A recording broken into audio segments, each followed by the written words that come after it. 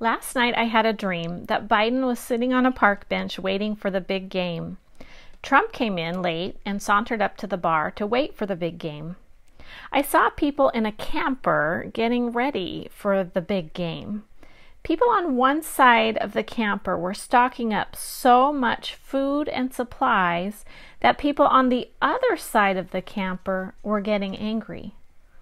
I saw an older lady trying to find an open door. She had her shower cap and underclothing on and had just bathed or showered, but was not fully dressed yet. She still needed to finish getting ready for the big game. While the older lady had been sprinkled or immersed in water, the camper being to her like a great cathedral where one could be baptized, she still needed to be clothed in the king's team colors. For it is the shed blood of Jesus that makes us spiritually clean, not baptism in water. Jesus is the open door. Jesus is the way to be saved. In my dream, the lady whose name meant God is gracious found the open door. For by grace are ye saved through faith. It is a gift of God, not by works, lest anyone should boast. For God so loved the world that he gave his only begotten Son, Jesus Christ, that whosoever believeth in him will not perish, but will have everlasting life and will be on the victorious team. Praise the Lord. For we fix our eyes not on what is temporary, but on what is eternal.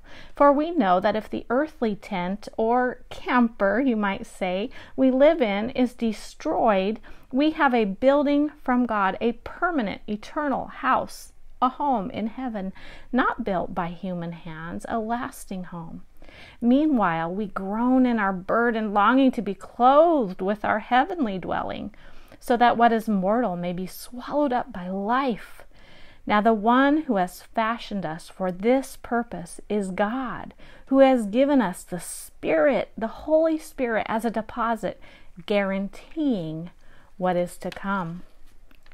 In my dream, I saw a bridegroom closing the camper, shutting it down, locking it up, closing it up, that had been like a cathedral, like a church to the older lady. For Christ is the bridegroom of the church, and we, his bride, will be with him forever in eternity. In my dream, I saw myself dressed in a red dress for the game, knowing I was on the king's team and that I had made the finals, the cheerleading finals perhaps, an encourager on the king's team to the very end. However, I realized that my black high heels weren't the right choice for the game. I needed to change into my clean white tennis shoes. Even members of the Kings team get their feet dirty with sin sometimes. But that doesn't mean we are kicked off the team. We are already completely clean, and Jesus will wash our feet as often as we come to Him and as often as we trip and fall. For John 13:10 says, The one who has bathed does not need to wash except for his feet but is completely clean. Spiritually, Jesus cleans us, but we are completely clean and saved when we are already on the, the King's team. We are sanctified and being sanctified. Praise the Lord. In my dream, not only did I put on appropriate clean shoes, I put on comfortable, relaxed denim. As the Loved by the King channel used to describe, Denim can be a symbol of God's grace for relaxing in, for resting in, and for comfortably working in. For 2 Corinthians 9 8 says, And God is able to make all grace abound toward you, that ye always having all sufficiency in all things may abound to every good work. Nevertheless, in a dream a few days ago, I saw a white car stalled representing, I believe, me trying to get back again, back on my feet again, get going again after last week's trip to the hospital, for I do struggle with my health. Our trials of various kinds test our faith and produce steadfastness and perseverance and make us mature and complete. And right after I saw that white car stall, I saw myself going around it, flying up into the air over beautiful blue scenery. Many colorful colors were in the scene.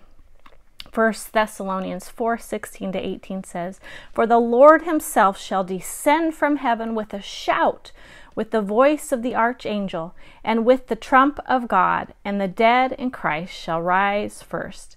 Then we which are alive and remain shall be caught up together with them in the clouds to meet the Lord in the air, and so shall we ever be with the Lord.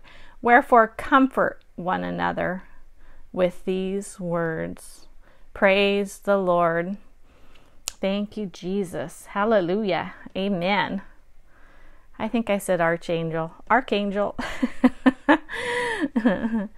we are perfect in Christ, yet we are still being perfected in Christ. Praise the Lord. Thank you, Jesus. Amen.